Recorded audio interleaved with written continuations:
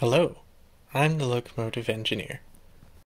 In my last video, I started updating my Siemens charger model to match Via Rail Canada's new SC42 variant. After importing my reference materials, my first task was to settle on a general shape for the streamlined wings on the sides of the nose.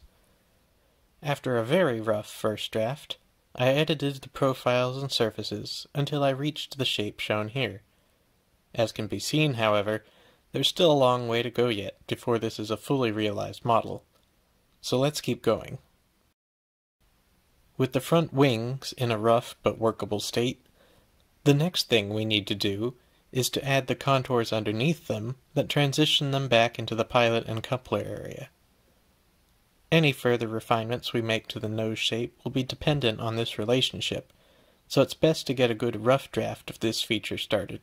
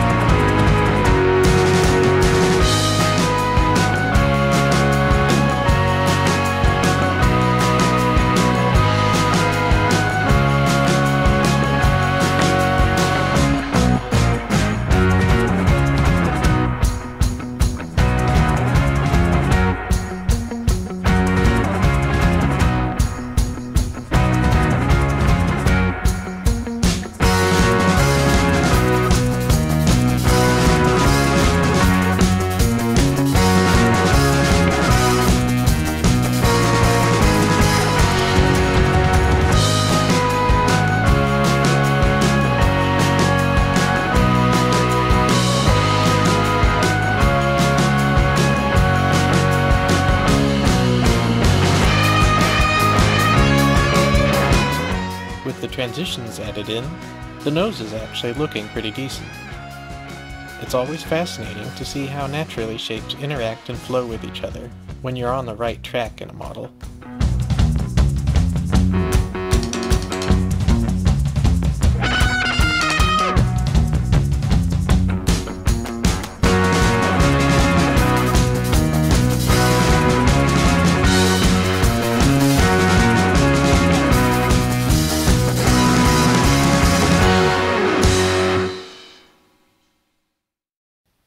Past this point, trial and error will be crucial to the drawing process. Testing out a new shape, finding new errors, testing out new shapes to fix those errors, and so on. Like any artistic project, it is this refinement and revision that makes the difference between an okay result and a good one.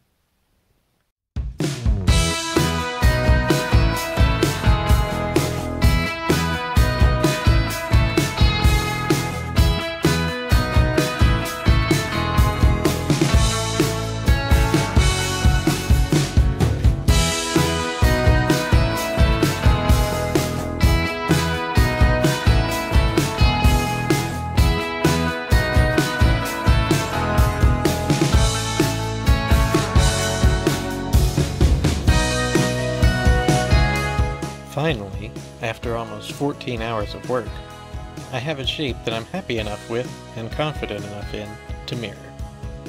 Considering how much work has been put into the drawing at this point, it may not look like much progress has been made. But now that the most complex shapes have been completed, everything else should be fairly straightforward by comparison.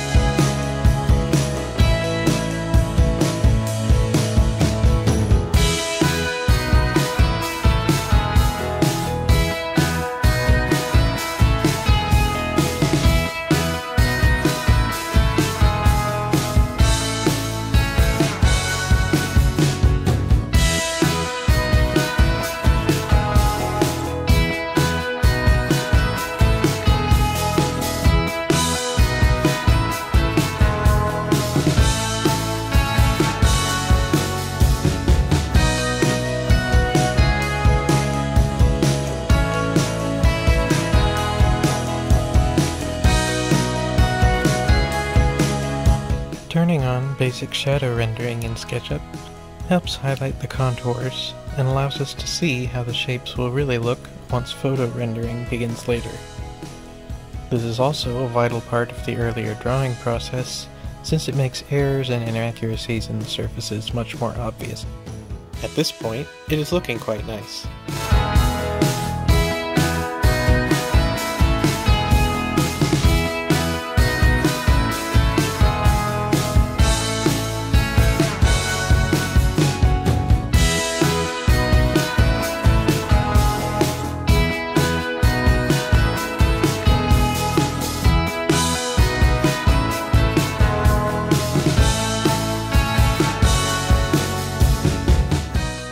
I like to keep draft copies of complex shapes in my drawings as I work, just in case I decide that I like one of those earlier shapes better.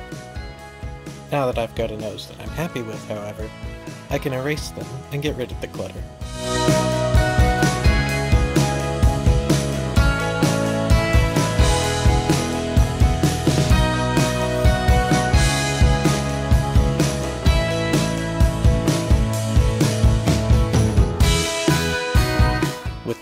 Complete, the next few tasks are relatively simple and much faster to work through. First, we'll complete the nose contours by adding the center section between the wings. Next, we'll add the wing lights and the third central headlight. And finally, the last thing to draw is the front snowplow.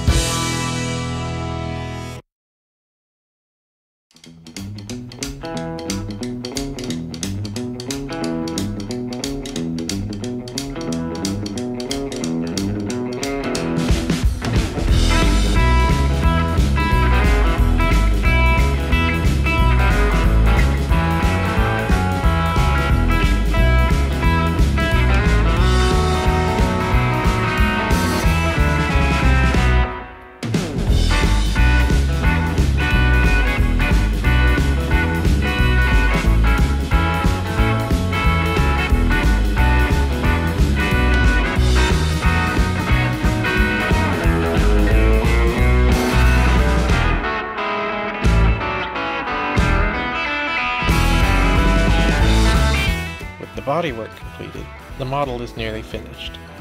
In the next video, we'll add paint and lettering, and then move on to rendering. See you then!